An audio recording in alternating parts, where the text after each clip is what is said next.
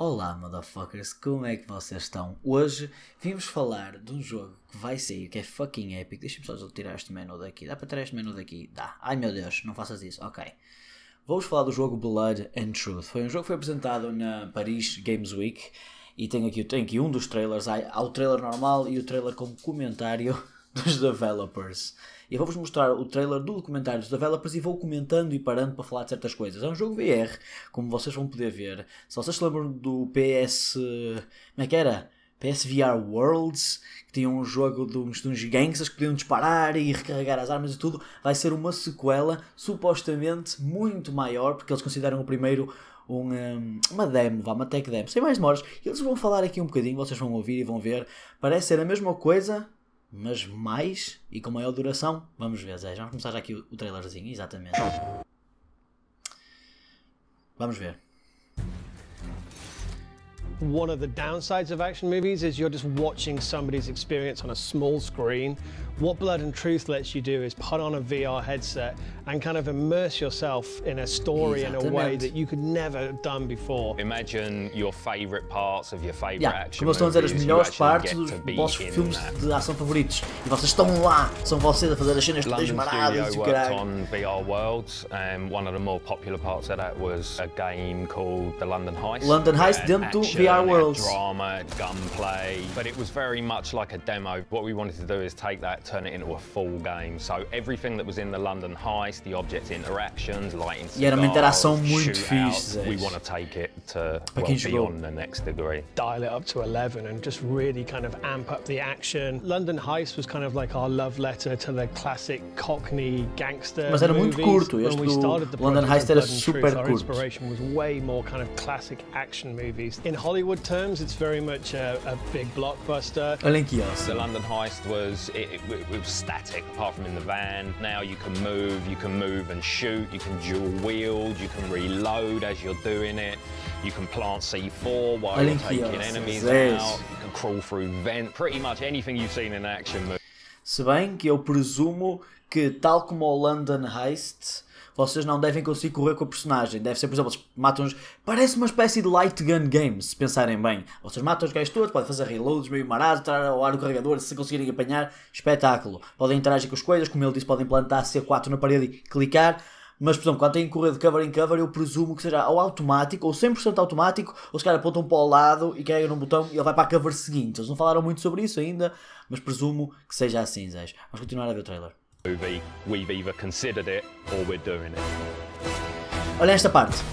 considered it or we're doing it. Olha esta parte. Ai, mostrou. Vamos mostrar a seguir. VR, it's more immersive than any other first-person shooter. You get to feel like you're there, and when you're kind of hunkered down and you're under fire and there's grenades flying in, you feel the intensity and pressure in a way that no other game lets you do. Someone throws a grenade at you, you just pick it up, throw it straight back. You really feel like the action hero. And the moving adds to it in a way that the heist never did, which is it adds a level of tacticalness to the game, particularly with the strafing between Estão a ver? Ele disse o movimento adiciona algo que o London não teve. Vamos ver outra vez aqui. Quer dizer que se calhar estão a dizer que vai ter movimento, mas ele disse particularmente o strafing. O strafing lá está, foi uma coisa do que eu disse, é apontar para o lado e correrem lateralmente. E parece que estão na floresta, meu. O meu pássaro está completamente crazy. Deixa-me fechar aqui a porta, Zé. Estava a subir o pássaro e... Como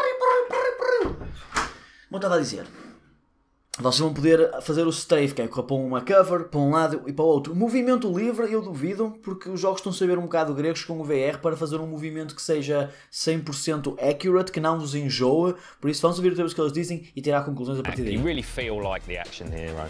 And the moving adds to it in a way that the heist never did, which is it adds a level of tacticalness to the game, particularly with the strafing between points as well. So you kind of, you're in the middle of a firefight and you can dodge around, you can actually start peeking around corners and stuff in a way that you just can't do in a normal game. Ok, peek around corners, e ele falou em alguma espécie de movimento, mas pelo menos que eles falaram vai ser limitado esse movimento. Não é andarem tipo a correr tipo com um analógico, uhul, aqui vou eu. Vocês estão, com os moves, não se esqueçam, mas, mas vai ter alguma espécie de movimento mínimo, que é fixe. Vocês não estão simplesmente como num, uh, num gun game, que estão parados, disparam, escondem-se e dão reload, e apontam e disparam e dão reload. Não. Aparentemente vão conseguir fazer peek around the corners, inclinarem-se, mover-se de cover para cover para disparar para os gajos. Se calhar viu-se pelo trailer correr um bocado mesmo para a frente, se bem que isso podia ser uma transição automática dele correr para a frente e a matar os gajos. super interessantes. És. Blood and Truth definitely immerses you in a way that no other action game has done before. It makes you really feel like an action hero. And I think part of the reason for that and reinforces that is the movements you're doing. You know, in your head, you know, you just feel like you're immersed in that game world. When you get your clip and you smash it into the gun, that it just it just works and it feels right. We've got like fancy reloads you can do, like gun tricks. I mean, there's people in the studio who can throw Gun clips tricks, in the air and yes. catch them. So as you get oh, Ouviram? Eles a dizer que conseguiram fazer, pessoal, enquanto estava a desenvolver o jogo, a tirar um clipe, pegar com esta mão, essa com o gatilho, atiram ao ar e conseguem encaixar a arma da forma correta no carregador e ele entra, mesmo à filme de ação. Claro que não é realista, mas é interessante terem hum, a sensibilidade correta para conseguirem fazer uma cena dessas. Quer dizer que vai ter mesmo, já o London Heist tinha, muita precisão no que vocês podem fazer. No London Heist podiam pegar num cigarro e com a outra mão pegar no isqueiro, carregar, encostar o suficiente e ele ligava. Cenas assim, muito, muito detalhe. the game, it kind of grows with you. PSVR has just celebrated its first birthday. We've seen some amazing games come out in that first year. I think for us, you know, Blood and Truth shows the potential of what could be coming next. I think these bigger, more blockbuster titles that really push the boundaries of what it Eu is espero to bem que sim, be que saiam in mais jogos It's like VR, melhores, maiores. all the best bits of all the action films and games that we love to play, and we've just Exatamente. put them all together. We've only shown one location. We've got a load more levels that kind of showcase the glamour and Espero que não grit seja um of jogo modern-day muito curto, London. We're just scratching the surface of Mesmo kind of what eles we've dizendo got que é maior. we're working on behind the scenes, and there's definitely more to come in the future. Blood and Truth. nice.